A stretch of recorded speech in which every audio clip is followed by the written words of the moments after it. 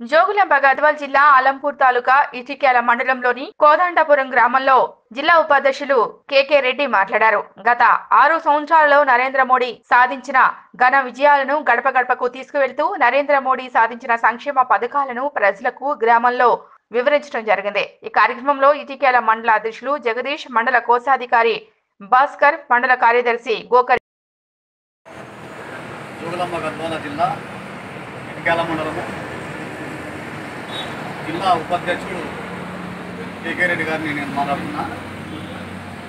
ఈరోజు నరేంద్ర మోడీ సాధించిన విజయాలను గడప గడపకు పోయే కార్యక్రమంలో నాతో పాటు ఇటుకాల మండల అధ్యక్షుడు జగదీష్ గారు తర్వాత తెస్తే ఇటికాల మండల కోశాధికారి ఈ భాస్కరు కార్యదర్శి గోగారి గారు సంయుక్త ప్రకటనలో ఈ యొక్క నరేంద్ర మోడీ ఘన విషయాల గురించి గడప గడపకు తిరిగి ప్రజలకు వివరించడం జరిగింది. అందులో భాగంగా త్రీ సెవెంటీ ఆర్టికల్ను రద్దు చేయడము ఇది నరేంద్ర మోడీ గారి ఘనత.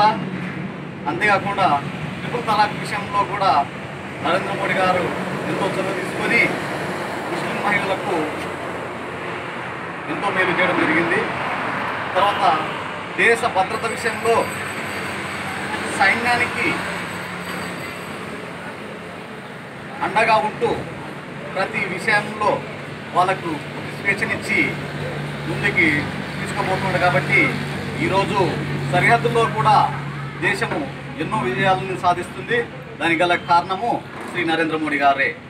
కాబట్టి ఇలాంటి నాయకుడు ఉండడం వల్లనే మన దేశము ఎన్నో అభివృద్ధి కార్యక్రమాలను సాధిస్తుందని చెప్పుకోవచ్చు.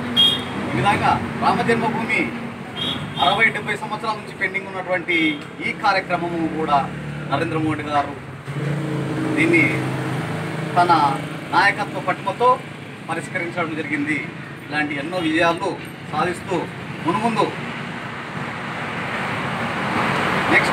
అందరికీ కూడా నరేంద్ర మోడీ గారే ప్రధానమంత్రి కావాలని కోరుకుంటూ